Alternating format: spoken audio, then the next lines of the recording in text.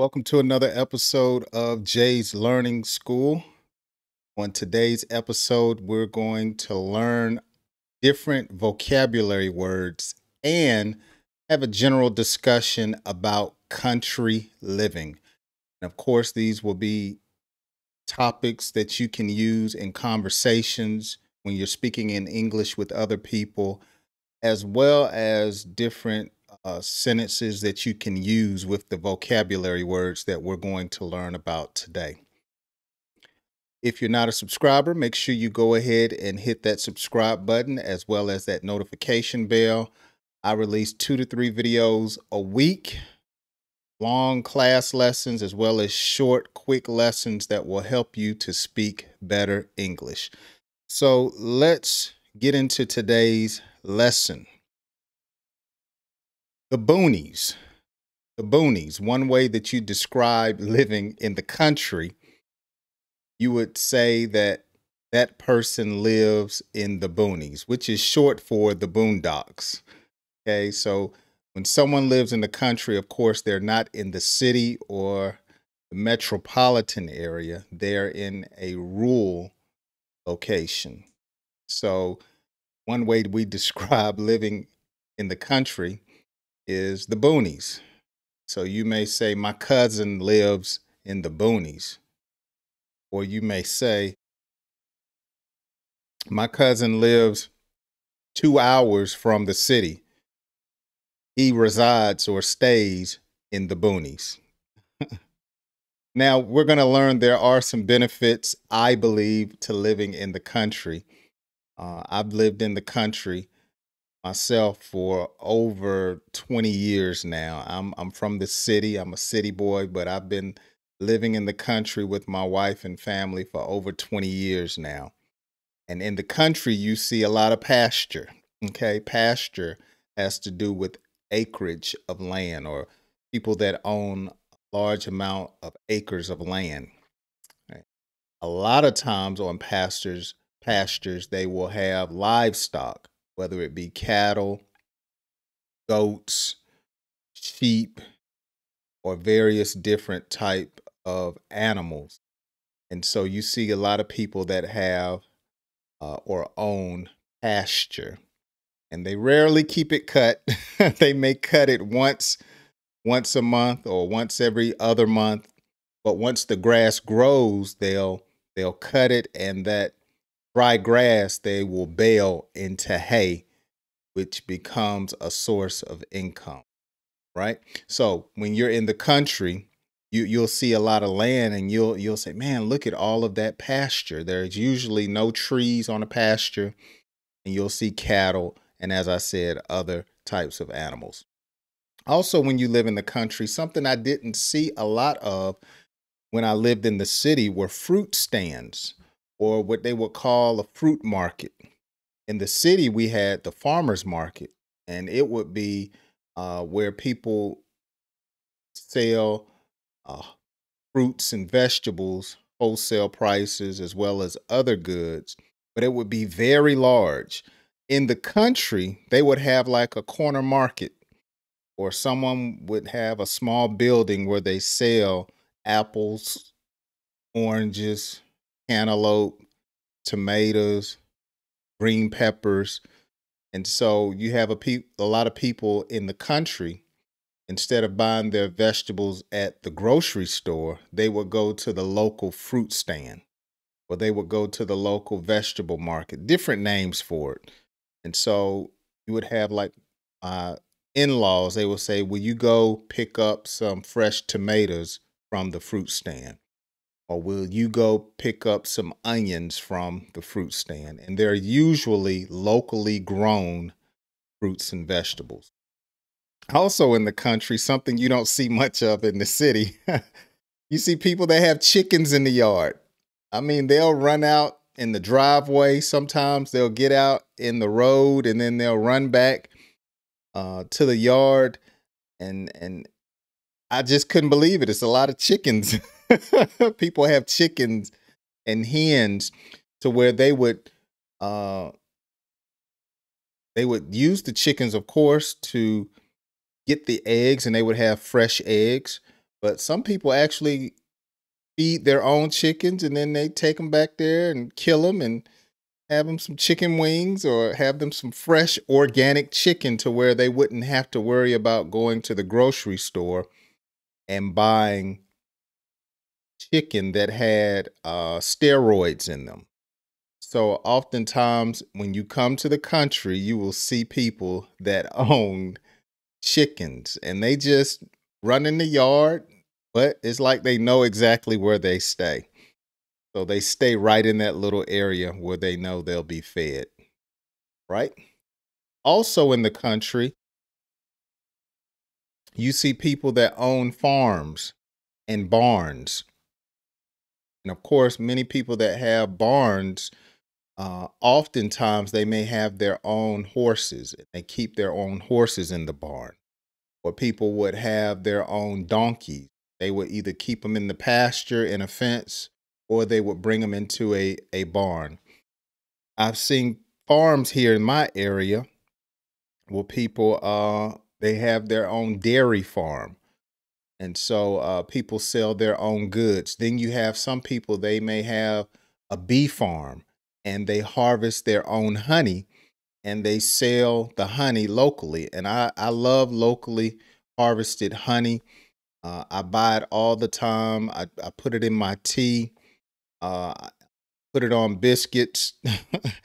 uh, and so I, I love fresh honey from locally from local that are in in the area. So you see a lot of farms and barns in in the country, and of course you don't see this in in the city. And so in the country, oftentimes, like I said earlier, people have different livestock there. And one thing that I, I had never seen, they have what's called a sales barn in the country. And the sales barn is where people would bring their their livestock and they would sell it maybe once a week or once every other week or once a month. They would have a livestock sale. And so you could actually go and buy calves or cattle. You could go and buy a goat for your yard. You can go and buy sheep. It, you can go and buy a hog or a pig at the sales barn. So all of this goes on at the local farm or barn when you're in the country. Now, the town square. Now, of course, they have uh, like the state capital in a metropolitan city, but usually in a small town, the the square is where you would find the courthouse, you would find uh, the commissioner's office. You would, you would find the solicitor's office. You would find various government entities as well as local businesses on the town square. I had never seen this before. when I got to the country, everyone said, Well, look, I'm going to the square. I was like, What's the square?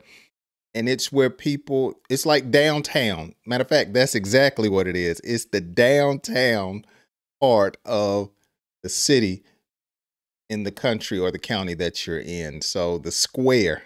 And again, here in my town on the square, you have a lot of locally owned restaurants where people go and eat, have law offices around the square. Uh, and maybe two or three blocks from the square, you would have local lawyers or attorneys. They would set up because that's where the courthouse would be, usually near the square. Uh, and it's usually, as we're going to talk about on the square, is a historical building like a historical courthouse. And that's here in the United States, something that I've seen in, in many country towns around where I'm from. Do you have a square in your town? Let me know down in the comments. Okay, also in the country, you have a lot of historic landmarks. Okay, historical landmarks where something uh, very important happened in the time of that particular community. Uh, so here I'm in the South.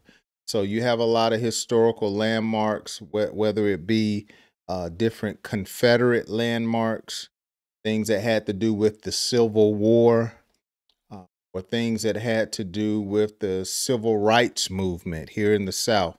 So uh, Dr. King, Martin Luther King, he visited my town here and there different landmarks. They had, I believe it was the March on Selma, one of the marches that they had, I believe it was the Selma. They came through our town, and so they have a landmark.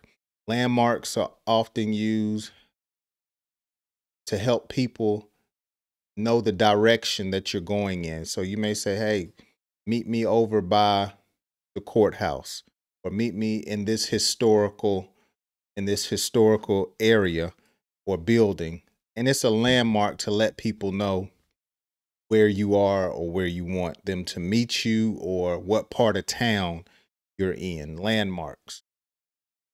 Now one thing about the country that i find a little bit different than living in the city is everybody knows everybody. When you're in the country it's a very close knit community. Usually in a small country town, you have families throughout that area that are related. So it's a lot of cousins, it's a lot of aunts and uncles, all in the same community. So a lot of people will know you based upon your last names. Oh, you're related to the Smith family, or you're related to the Richard family. And so it's a real close knit community uh, and so you have to be careful about what you do because in a country town, most people may know your business. and so that's one one disadvantage of living in a small town is that, you know, people talk. And because it's only a few thousand people, uh, word travels fast. So when people say word travels fast, they're they're actually saying that the news about something uh, certainly did go from person to person quickly because it's a close knit community. All right. Also in a country town, when there's country living, I notice people have a lot of gardens. People grow a lot of their own food in a country town or a small or rural town or out in the boonies, as we said earlier. Yet people grow their own corn, their own collard greens, their own tomatoes. Whereas when I was in the city, you may see one or two people have a, a, a little five gallon bucket and they may grow a few tomatoes out on their deck or porch of their home. But here in the country, people have land and they have often fertile ground or ground that they have tilled, and they will grow their own vegetables. And so I would go to my in law's house, and uh, my father in law had his own garden in the backyard. And so he, they would always let me know, hey, these came out of the garden. Or often they would say, these came out the yard, letting you know that they grew this themselves. So gardens are very prevalent in a country town. Now, also, one disadvantage of being in a rural area is often there is no public transportation. When I lived in the metropolitan area of Atlanta, we had public transportation like the train, had a public transportation bus. Okay. They even had at the time when I was younger, they're not as popular now, but taxis. Of course, you have here in this country Uber and Lyft, where you use an app for someone to schedule someone to come pick you up. But that's rare in a country town. There's not a lot of Uber, there's not a lot of Lyfts, and there's definitely no bus, and there's definitely no train or uh any other type of public transportation. Okay. And so that's one one disadvantage if you don't own a vehicle. Uh, it can be a little bit challenging to get from place to place. Whereas in the city, if you don't have your own vehicle, you can ride a bike or you can use public transportation for a couple of dollars. But in the country, that's not so. Okay, there's no bus, no train, and rarely no taxis. All right. That's a part of country living. Now, one advantage to living in the country, the air is fresher. Whereas in the city, there's a lot of smog and pollution in the air. The air is cleaner in the country, at least where I reside and some of the smaller towns that I've lived in. We, we would say, man, the, the air is clean here. The air is fresh here. And that's one advantage to living in, in the country is fresh air. Also, when you live in the country, there's often more land available. Landowners in the country town often have more land, whereas in the city, you're you're living on top of one another. And that's that's a phrase that we use to describe how living space is is small in the city. Say, man, we're living on top of one another.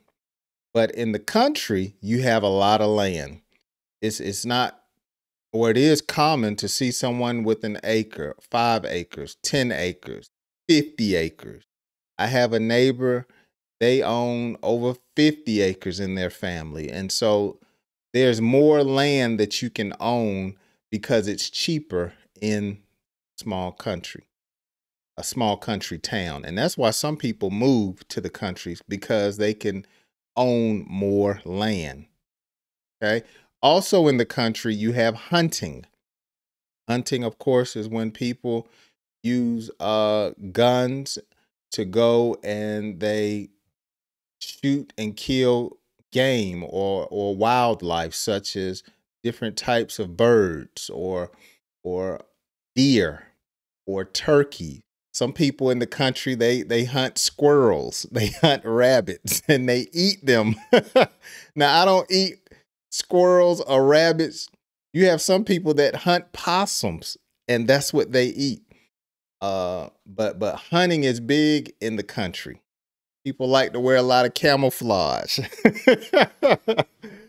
they like to wear a lot of cowboy boots a lot of uh fluorescent and and things of that nature uh, but but hunting takes place at different types of the season depending on what you're hunting.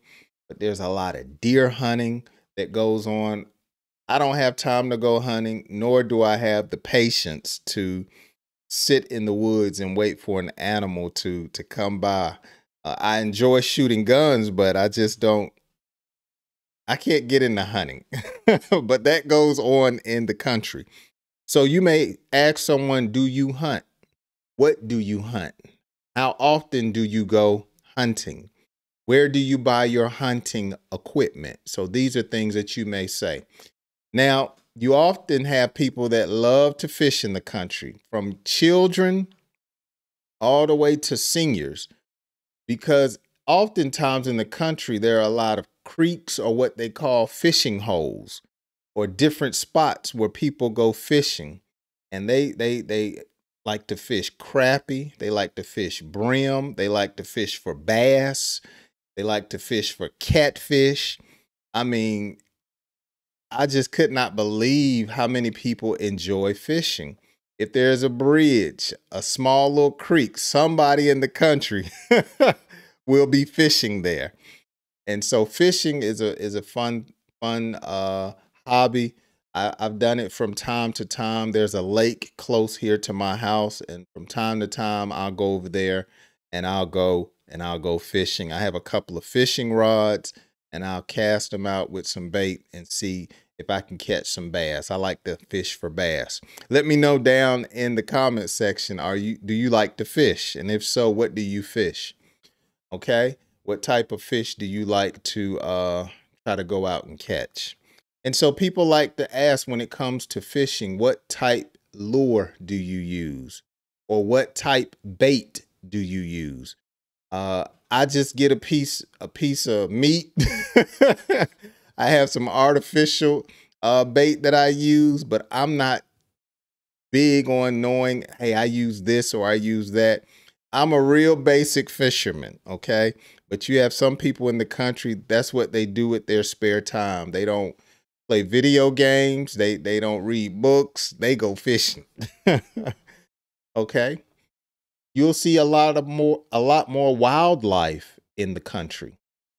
At least that has been my experience. I have seen uh, deer, I have seen foxes, I have eagle, not eagles, but hawks that come into my yard on my property because I like to feed the birds. And I have hawks. There's a nest, couple of hawks nests that are that are not too too far from my home. And they come over here and they get some of the food that I put out. Uh, you have coy coyotes. Okay. Uh, there are different types of snakes, and it just depends on the area that you're in. Uh, Georgia is known for having cottonmouths, water moccasins, and rattlesnakes. Just depends on where you are, but not not that much. But cottonmouths uh, and water moccasins, those are very popular snakes.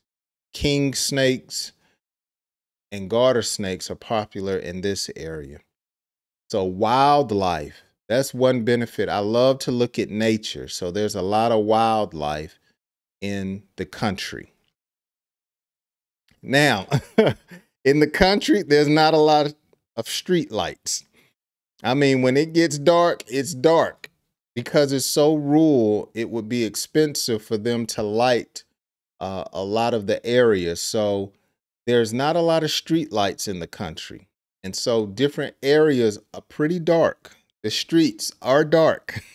but when the, the moon is out and it's full and it's shining bright. Oh, it's so beautiful because in the country, there's not a lot of buildings. And so you can see the stars very clearly in the country. All right. So in the country, there are no street lights. So uh, you have to be prepared for that. So you may you may have to say to someone, turn on your high beam lights in your car so you can see. That may be something that you would say because again there are no or very few street lights in the communities and on the roads in the country. In the country the the cost of living is cheaper okay? It's cheaper and the cost of living is much lower in the country okay it's uh not that much industry it just depends on where where you live but oftentimes in the country it's cheaper. Excuse me, it's cheaper in the country. Housing is cheaper. Oftentimes, the fuel is a little bit cheaper. And so a lot of people leave the con- the city and they move to the country because they can stretch the dollar. And so when you talk about stretching the dollar, you're actually saying that your money can go further. Okay? Taxes oftentimes are are lower in the in the country compared to the city. Oftentimes there's less crime in a country town. Again, I don't know why. It may be because it's a close-knit community and people know one another, but in the country, you usually find that it's less crime, okay? And it's also in the country less noise. That's one reason I like living in the country you don't have to hear a whole bunch of noise. Is is is no airports. Um, you can hear the crickets outside. You can hear the frogs outside. you can hear the horses or the cattle making noises. There's there's it's nature. You can hear it in the country as compared to the city. Also in the country, people get married younger. Okay usually in the country is nothing to do but have a relationship. so oftentimes I find that people get married younger in the country in a rural area as compared to in the city. So you may ask someone, how old were you when you got married? Or you may hear younger people that just got out of high school talk about getting married. It's just something that happens in the country. As I just stated, in the in the country there are no major airports. You may have to drive an hour or 2 hours to get to the airport. Okay?